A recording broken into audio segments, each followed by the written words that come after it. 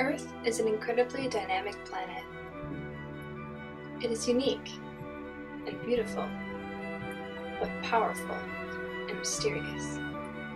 It holds the key to give and take life. Earth is always changing.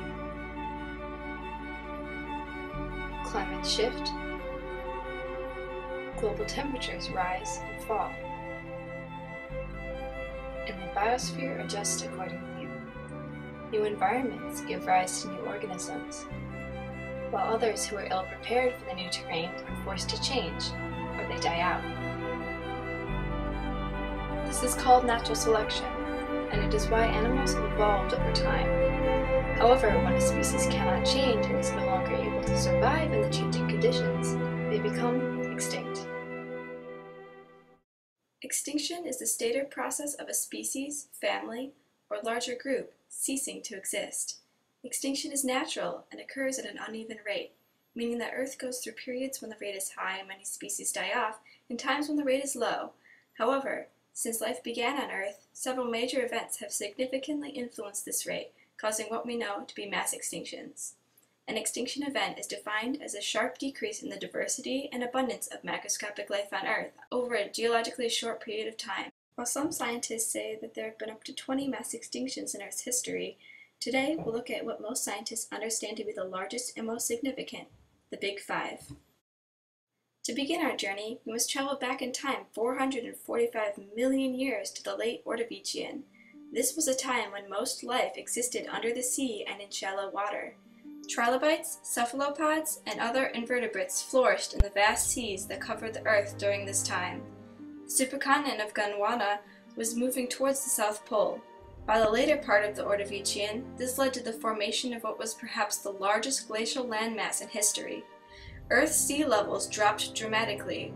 Some seas emptied entirely of their water. It came as no surprise then that over 57% of all species were wiped out with the Ordovician Silurian extinction event. Melting glaciers and rising sea levels following this event ushered in an era of change the global climate stabilized, coral reefs emerged for the first time, and fish evolved in remarkable ways. Fast forward now 75 million years to 370 million years ago, the late Devonian period.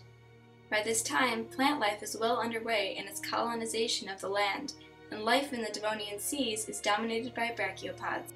There was a prominent diversification of fish during this time as well, from the end of the Middle Devonian, there is evidence of widespread anoxia in oceanic bottom waters, and organisms that lived on the seafloor were decimated, especially in the tropics and reef communities.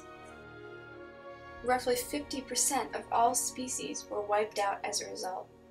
The Devonian extinction hurt the water habitats much more than those on land. The sponges and corals were the most affected, and no major reef building happened again for thousands of years.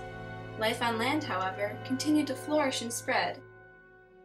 Based on comparisons between fossil and modern-day plant morphology, the Carboniferous plants resemble those that live in tropical and mildly temperate areas today.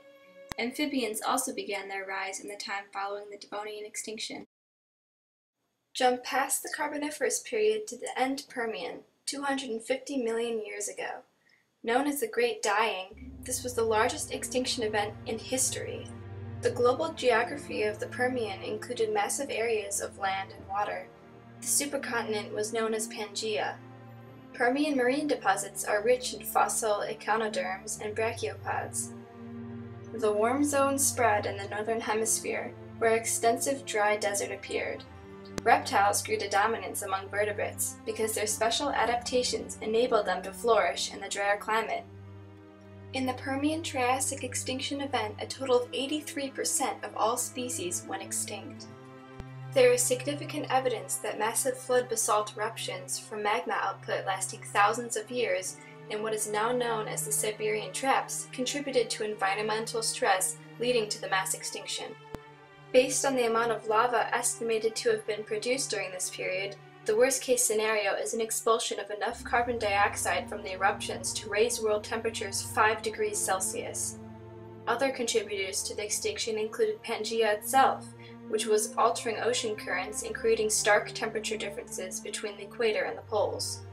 It is thought that the long recovery was due to the successive waves of extinction, which inhibited recovery and prolonged environmental stress to organisms.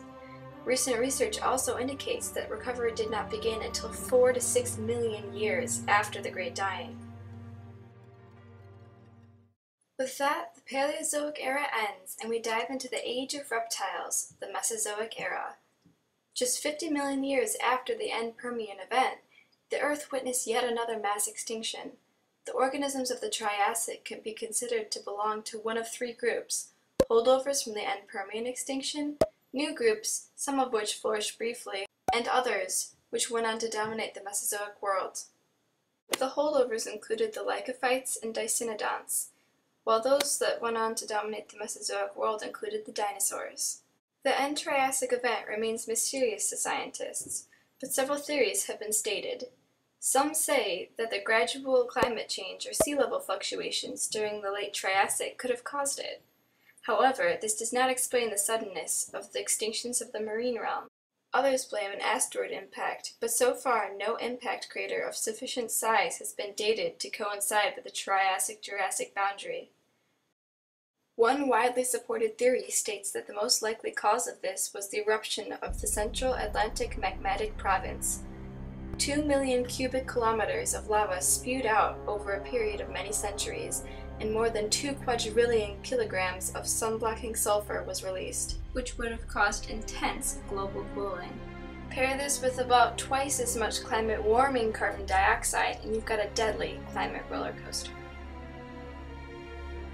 By the beginning of the Jurassic, the supercontinent Pangaea had begun rifting into two landmasses, Laurasia to the north and Gondwana to the south.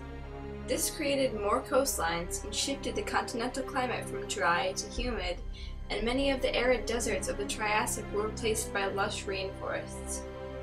Dinosaurs dominated the land and reached their peak in this period as they diversified into a wide variety of groups. The first birds also appeared during the Jurassic, having evolved from a branch of theropod dinosaurs. Marine reptiles inhabited the oceans as well. The Cretaceous period that followed the Jurassic was a period with a relatively warm climate resulting in high sea levels and creating numerous shallow inland seas. Mammals also lived on land, but were a small and relatively minor component of the fauna. The Cretaceous Paleogene extinction event occurred about 65.5 million years ago at the end of the Cretaceous period and Mesozoic era. Non-avian dinosaur fossils are found only below the KT boundary, indicating that they became extinct during the boundary event.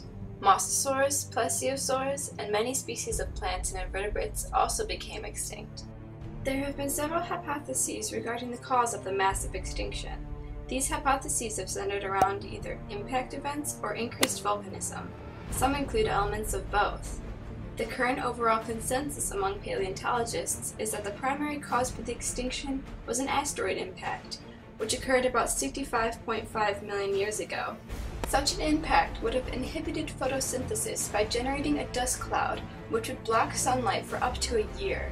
It would also inject sulfuric acid aerosols into the stratosphere, which would reduce sunlight reaching the Earth's surface by 10 to 20 percent.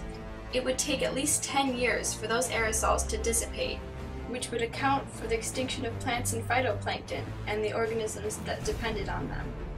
Global firestorms may have resulted from the heat pulse and the fall back to Earth of incendiary fragments from the blast. In 1990, researchers identified the Chicxulub crater on the coast of the Yucatan Peninsula, Mexico, as the impact crater. The crater is oval, with an average diameter of about 110 miles. The shape and location of the crater indicate further causes of devastation in addition to the dust cloud. The asteroid landed in the ocean and would have caused mega tsunamis as well. Now that we've covered Earth's five big extinctions, we're faced with one big question. When is the next one?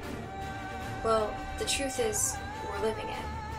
Currently, the rate of extinction could be up to 140,000 species per year, which is an estimated 1,000 times the historical rate. Our Earth is precious. We do not own it, nor control it. It is impossible to predict the end of humans, which leaves us asking, how much time do we really have?